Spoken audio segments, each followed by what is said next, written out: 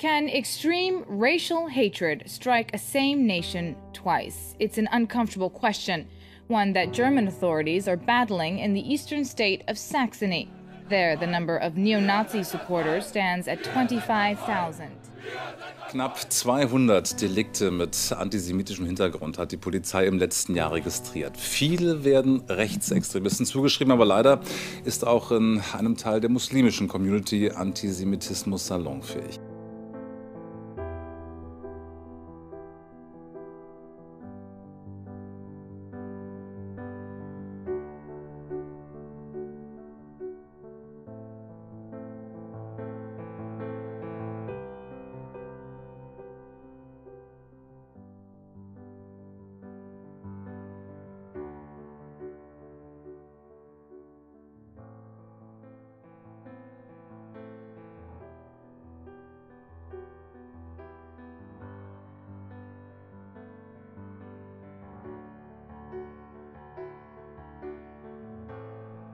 Heute haben Rabbiner und Imame gezeigt, dass man doch sehr gut auch gemeinsam unterwegs sein kann.